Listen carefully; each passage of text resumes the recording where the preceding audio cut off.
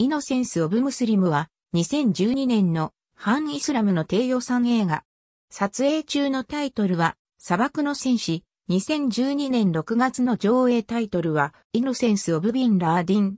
日本ではイノセンス・オブ・ムスリムを訳して無邪気なイスラム教徒のタイトルで呼ばれることもある。台本、制作、監督はサム・バシルこと、エジプト系アメリカ人で、コプト正教会のナクーラ・バスリー・ナクーラで、予算は彼のエジプトに住む家族によって賄われた。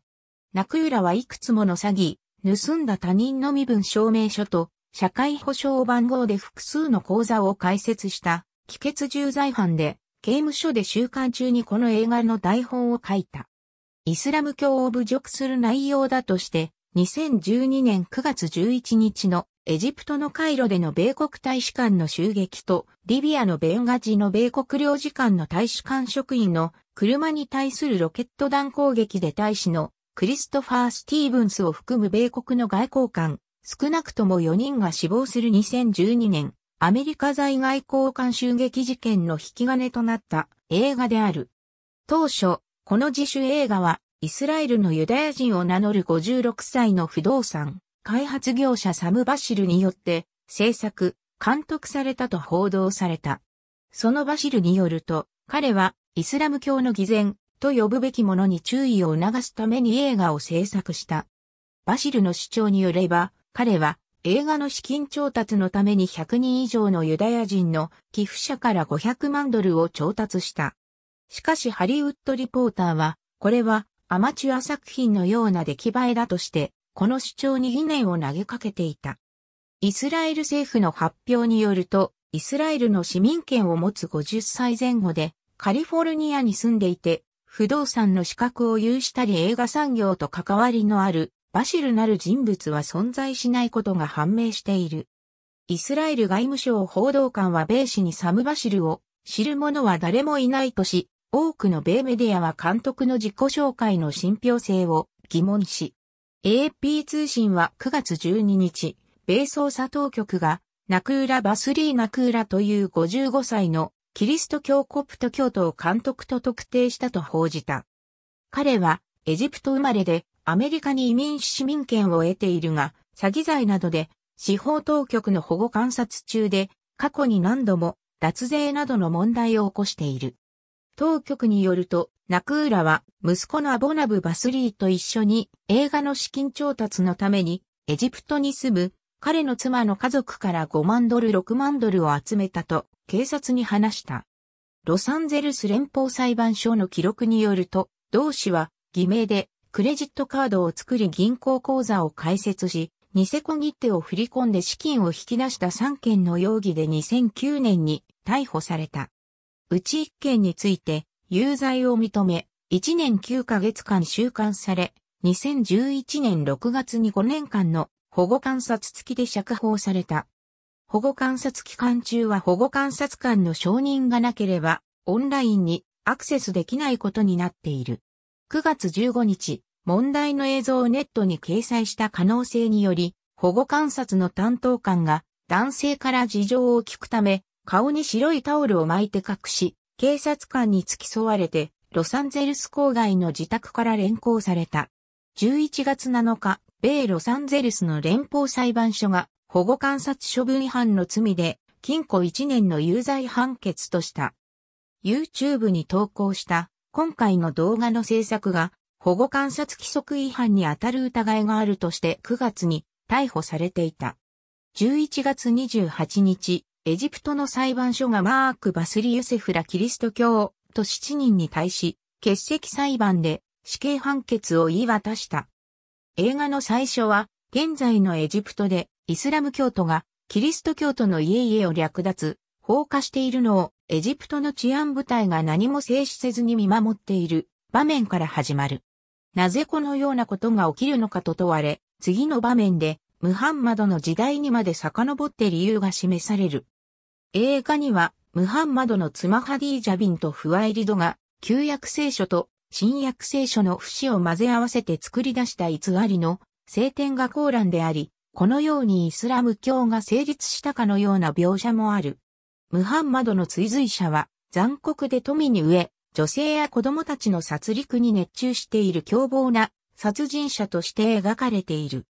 予告編の映像では、学校の時代劇のような衣装を身につけたムハンマドは、この動物が最初のイスラム教徒となると、オスのロバを指して語り、このシーンがエジプトのエールナズで放送されたムハンマドはロバと蒸気を逸した同性愛的で一方的な会話をしていると報道している。他にも仲間たちに戦闘で略奪した子供や女性たちをレイプして良いと告げるシーンもある。最後にグレープジュースで血まみれになった剣と衣装を帯びた。彼はイスラム教徒でないものはすべて異端者だ。と叫び火の玉に包まれる。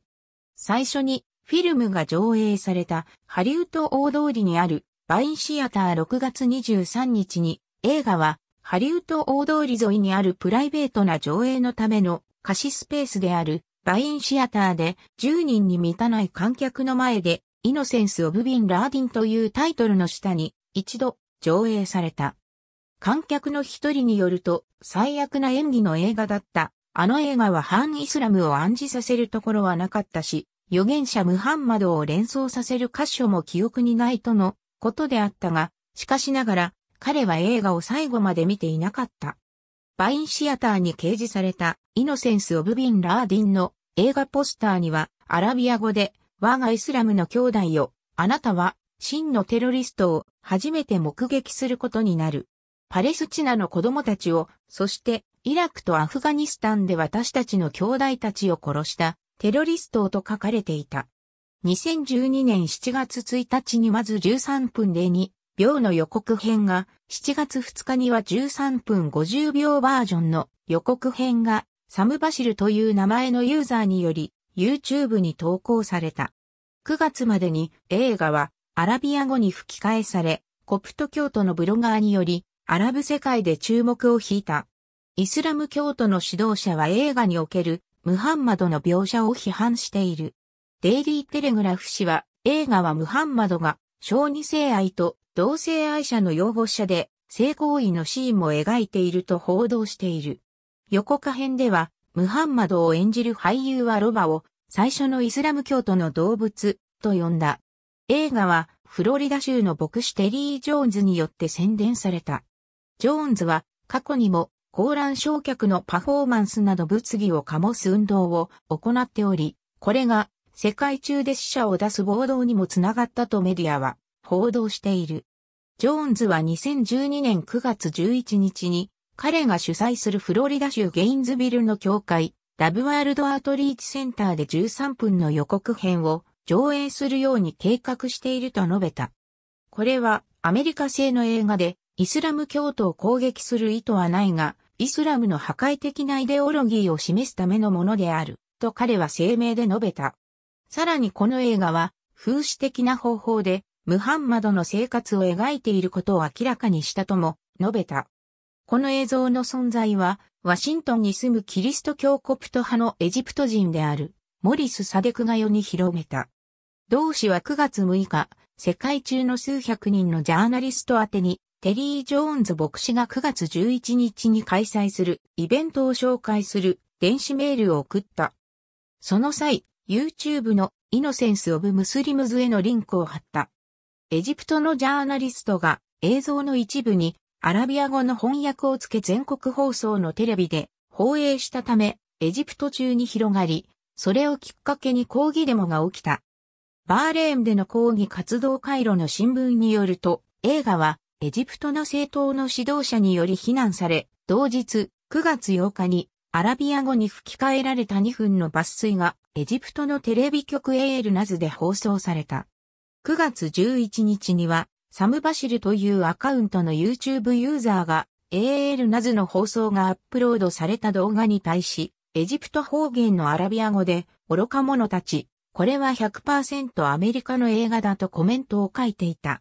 2012年アメリカ在外交監修劇事件を受け、関係者は9月12日、映画の意図や目的について大きく異なる説明を受けていたとして、プロデューサーを非難する声明を出した。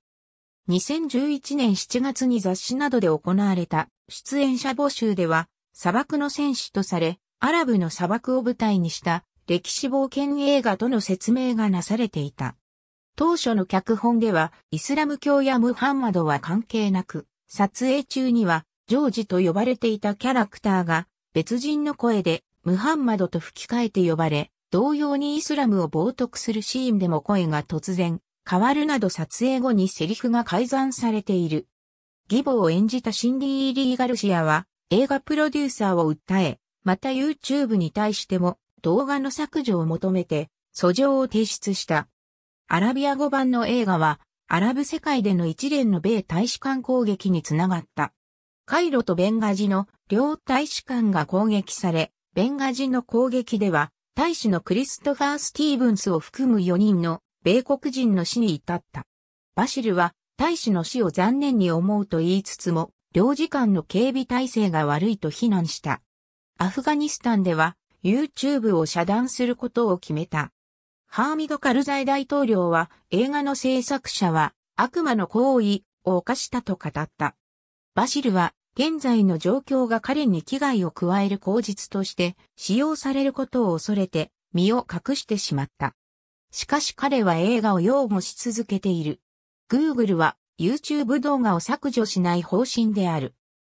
エジプトのムハンマド・ムルシー大統領は9月12日に映像の背後にいる狂人を訴追するように、米国政府に促す一方、私有、公有の財産や外国の外交施設、交換を攻撃することは許されないと自国の米国大使館に対する暴力的な行為を批判し、抗議運動は平和的に行うよう求めた。クリントン米国務長官は9月13日、このビデオは嫌悪感を抱かせ、非難されるべきものだ。米政府とは無関係であり、その内容とメッセージは全く認められないと述べた。ロサンゼルスのコプト正教会教区の司教、セラピオオーンは、声明で、この映画の制作者は、自分の行動に責任を持つべきだ。私たちの祝福された、教区民の名が下心を持つ個人の行動と関連づけられるべきではないと述べた。パンギムン国際連合事務総長は9月14日、外交官殺害事件を非難し、抗議デモの参加者たちに自制を求める一方、映画について憎しみに満ちた胸が悪くなるような映像だ。意図的に抽象と流血を誘おうとしており、表現の自由を悪用した恥ずべき行為だと強く非難した。外務省からは預言者ムハンマドを侮辱する映画に対する抗議デモ、等に関する注意喚起として2件の広域情報が出されている。偶像崇拝を禁じるイスラム教では、多くの宗派で伝統的に預言者ムハンマドを視覚的に描写することは禁じている。コーランは明示的にムハンマドの描写を禁止しているわけではないものの、いくつかのハリースは明示的に禁止している。過去にもムハンマドを描写したために集団抗議と暴力に発展している。1976の映画マハミド、メッセンジャー・オブ・ゴッドは、実際にムハンマドを見せていないにもかかわらず、銃で武装したアフリカ系アメリカ人のグループが149人の人質を取りフィルムの破棄を要求した。2005年にデンマークの新聞ユランズポステンに掲載されたムハンマド風刺漫画掲載問題も集団抗議やテロ攻撃をもたらした。9.11同時多発テロと西洋世界におけるイスラム教徒人口の増加により、反イスラム教徒感情が高まり、アメリカ人やヨーロッパ人による様々な反イスラムの行動は、引き続く大規模なイスラム教徒の抗議と暴力を引き起こしている。